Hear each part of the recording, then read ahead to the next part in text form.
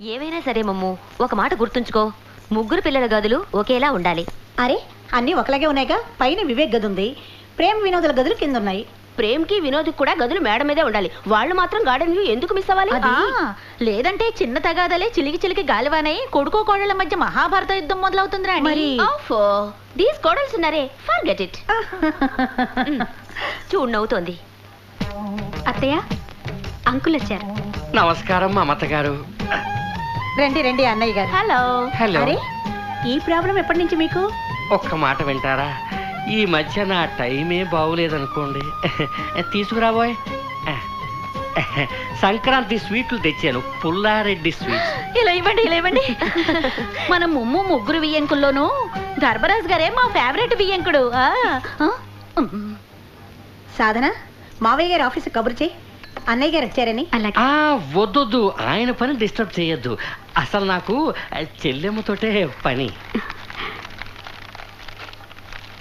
అన్నిటికంటే ముందు మీరు ఓ పని చేయాలి అన్నయ్య గారు. అలాగే. మీరే చెప్పండి. వివేక్ వినోద్ ప్రేమ్. వీళ్ళ ముగ్గురికి ఏం చేసినా ఒకేలా చేయాలా అక్కర్లేదా? ఒక్క మాట చెప్పమంటారా? ఏమైనా ఇంటి విషయాల్లో నేనేం చెప్పగలను? మీకు చెప్పడానికి పూర్తి హక్కు ఉందన్నయ్య గారు. మీరు కాబోయే వియ్యంకులు కదా. అవును, నిజమే. మీరు ఎప్పుడు ప్రతి చిన్న విషయాల్ని పట్టించుకుంటారు ఎందుకు? ఆ, అన్నయ్య గారు ఒక్క నిమిషం.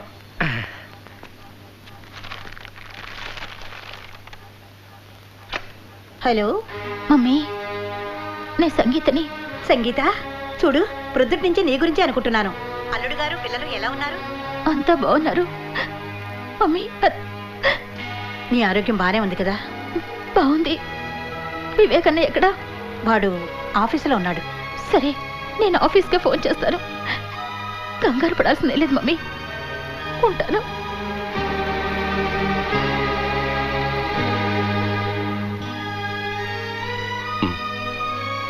సరే. కంగారు పడుకు సంగీత. ఆనంద్ బాబుకు ఫోన్ ఇవ్వు. సింగర్ కొంచెం అర్జెంట్ పని తగిలింది. ఇది తర్వాత డిస్కస్ చేద్దాం.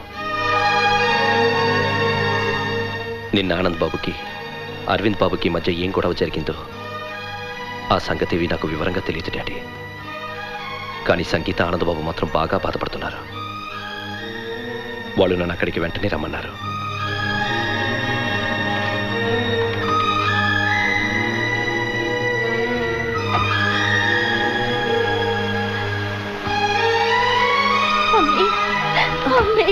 సంగీత నువ్వు ఎందుకు ఏడుస్తున్నావు? అల్లుడు గారు ఏమైంది? మీకు తెలుసు కదా మావయ్య గారు. మాది మొదటి నుంచి ప్రేమతో నిండిన ఉమ్మడి కుటుంబం అని. అరవింద్ అన్నయ్య జ్యోతి వదిన సంగీత మా ముగ్గురు పిల్లలు. ఏ భేదభావాలు ఏ మనస్పర్ధలు లేకుండా ఉండేవాళ్ళం. ఎప్పుడైతే అరవింద్ అన్నయ్య మమ్మల్ని అర్జెంటుగా రమ్మని ఫోన్ చేశాడో అప్పుడే నాకెందుకో అనుమానం వేసింది. వర్క్లో ఏదో టెన్షన్ అనుకున్నాను. మన్నాడు తనే మమ్మల్ని పిలిచి చెప్పాడు. మనం ఇంక వేరు వేరు బిజినెస్లు వేరు వేరు కాపురాలు అని. అరవింద్ బాబు అలా అన్నాడా? నేను నమ్మలేకపోతున్నానే. ఇది నిజం అత్తయ్య గారు. కంప్యూటర్ ఇంజనీరింగ్ చేసిన తర్వాత నా పని పూర్తిగా టెక్నికల్ అయ్యింది. అన్నయ్య కంపెనీ తాలూకు అన్ని అకౌంట్స్ ఫైనాన్సెస్ చూసుకునేవాడు. ఎప్పుడు తను అన్ని కంపెనీ ప్రాపర్టీస్ని అన్ని షేర్స్ని తన పేరును మార్చుకున్నాడు నాకే తెలియదు ఓ మాట చెప్పండి ఆనంద్ బాబు మీ నాన్నగారు రాసిన వీలునామా ఏదైనా ఉందా? అదే విల్లు. లేదంకుల్. ఒక్క మాట వింటారా ఆనంద్ బాబు ఇలా ఆస్తి మొత్తం దోచుకోవడానికి అరవింద్ బాబుకి ఏ చట్టము హక్కు ఇవ్వలేదు. మనం కోర్టుకు వెళ్దాం ప్రతి విషయంలోనూ పంపకాలు జరుగుతాయి. మీకు తప్పకుండా న్యాయం జరుగుతుంది. వద్దంకుల్. వద్దా? ఏ బిజినెస్ అయితే నాన్నగారు ఎంత శ్రద్ధతో ఎంత శ్రమతో ప్రారంభించారో దాని ప్రతిష్టను కోర్టుకు లాగడం నాకు ఇష్టం లేదు.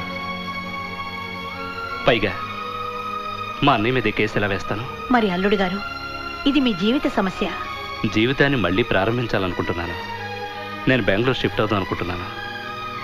అక్కడ కంప్యూటర్ గ్రోయింగ్ ఇండస్ట్రీస్ ఉన్నాయి. కొందరు ఫ్రెండ్స్ ఉన్నారు. ఏదైనా కొత్త బిజినెస్ మొదలెడతాను? కొత్త బిజినెస్ మొదలెట్టడం అంత తేలిక కాదు ఆనంద్ బాబు. పైపెచ్చు. సంగీత రాధికల బాధ్యత కూడా ఉంది కదా.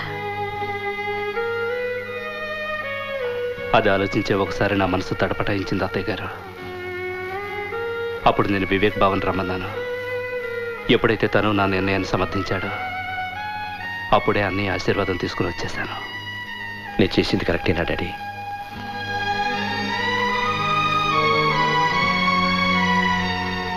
ఆనందబాబు. మావయ్య. మేము నిన్ను చూసి గర్వపడుతున్నాం. థ్యాంక్ యూ మావయ్య. నాకున్న బాధలు ఒకటే. మావాడకు దూరం అవుతున్నానని. ఆనంద్ బాబు మళ్ళీ మీరు ఒకటవుతారు. తప్పకుండా. నాకు పూర్తి నమ్మకం ఉంది. రారా బుజ్జి. రామ్మా. రా రా రా రా రా రా రా. థ్యాంక్ యూ వదినా నాకు చాలా కంగారుగా ఉంది అన్నయ్య గారు. చూడండి ఊరు గాని ఊళ్ళో అల్లుడు గారు ఒంటరిగా ఎలా పని మొదలు పెడతారు? భయపడాల్సిన అవసరం లేదమ్మా. డాడీ నేను ఇప్పుడే లండన్కి ఫోన్ చేసి మిస్టర్ రిచర్డ్స్తో మాట్లాడాను. సంగీత అతను మన ఏజెంట్గా కంప్యూటర్స్ కూడా డీల్ చేస్తున్నాడు. మాటల్లో అతనే అన్నాడు. అతనితో కలిస్తే ఆనంద్ బాబు వాళ్ళ మొత్తం సౌత్ ఇండియన్ బిజినెస్ చూసుకోవచ్చని. వెరీ గుడ్ అయితే బెంగళూరులో ఉండడానికి ఏ ప్రాబ్లం లేదు. అక్కడ మన ఫ్లాట్ ఉంది. సంగీత వాళ్ళు హాయిగా ఉండొచ్చు. మమ్మీ వినోద్ నేను ఇవాళే బెంగళూరు వెళ్తున్నా. ఆనంద్ బాబుని సంగీత్ని సెటిల్ చేసి వచ్చేస్తాం? చూడు ఆనందబాబు ఈ కష్టకాలాన్ని కూడా ఒక పరీక్ష అనుకోవాలి. చూద్దాం. జరిగిందంతా మన మంచికేనేమో. తీసుకోమ్మా అమ్మమ్మ అమ్మమ్మ ఇంకో రెండు తీసుకున్నా ఆ, అలాగే. తీసుకో. ఒకటి రాజు అన్నయ్యకి ఒకటి బబ్లు అన్నయ్యకి. నేను కలిసినప్పుడు ఇవి ఇస్తాను.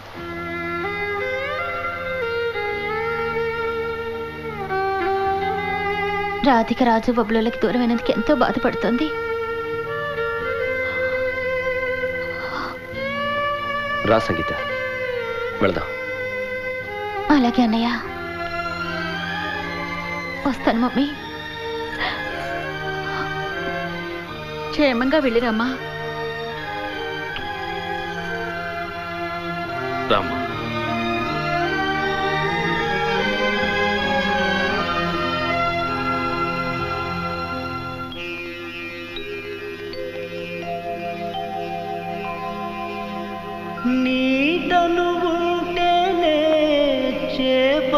రక్ష.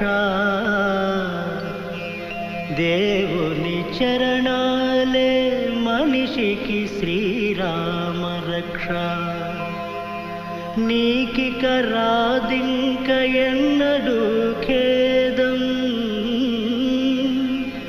నిరతము నెర నమ్మితే రాముని పాదం. చెల్లమా లౌకిక వాంఛకులు అభాగ్యులు దేవుని చెల్లెమ్మా నాకు చాలా భయం వేస్తోంది. ఎందుకు? ఆనందబాబు విషయంలో జరిగింది ఆ, ఆ, మన ఇంట్లో కూడా జరుగుతుందేమో అని. నాకేమీ అర్థం కావటం లేదు. మీకు ఈ విషయం అర్థమయ్యేట్టు చెప్పడానికే నేను రామాపురం నుంచి వచ్చాను. రామకృష్ణ గారు వివేక్ బాబుని మేనేజింగ్ డైరెక్టర్ని చేస్తున్నారు. మంచిదే. కానీ కొన్నాళ్ళ తర్వాత అన్నదమ్ముల మధ్య మనస్పర్ధలు వస్తే?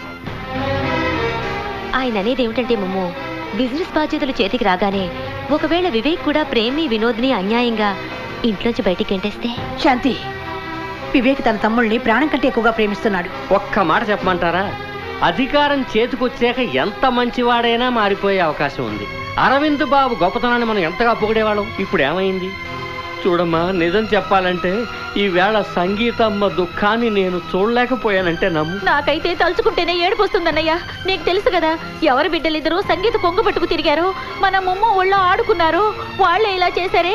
అది కూడా సొంత తమ్ముడికి. ఒక తల్లి కన్న బిడ్డల మధ్య ఇలా జరిగినప్పుడు నువ్వు ఒకటి మర్చిపోవద్దు. వివేక్ నీ సవతి కొడుకు. శాంతి.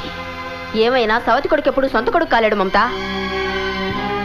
అవును చెల్లెమ్మా ఈ వేళ ఆనందబాబుకి ఎంత కష్టం వచ్చి పడింది. అతను వివేక్ బాబుని పిలిచి ఇప్పుడు ఏం చేయాలి మంచేది చెడేది అని అడిగాడు కదా. అప్పుడు ఏం చేశాడు మన వివేక్ బాబు? మీరే చెప్పండి చెల్లెమ్మా నిజానికి అతనికి చెల్లెలి మీద ఏమాత్రం ప్రేమ ఉన్నా ఇలా సంగీతం నట్టేట్లో వదిలేసేవాడా? దెబ్బలాడేవాడు ఏమైనా చేసేవాడు వాళ్ళు ఆసిన వాళ్ళకి ఇప్పించేవాడు. అంతేగాని ఇలా బాధ్యత లేకుండా చేతులు ముడుచుకుని కూర్చునేవాడు కాదు.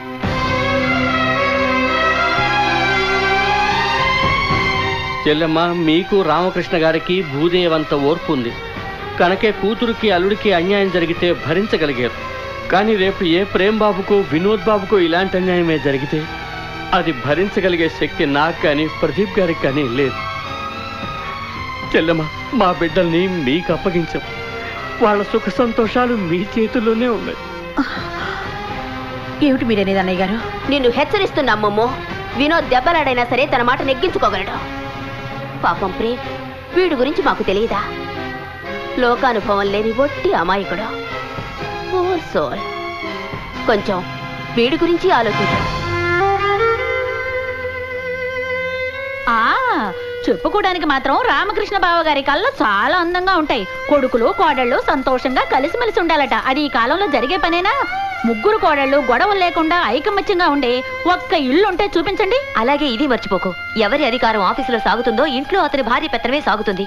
పోను పోను సాధన ప్రీతిని స్వప్నని తన కీలు బొమ్మలు ఆడించకపోతే నేను పేరు మార్చుకుంటాను.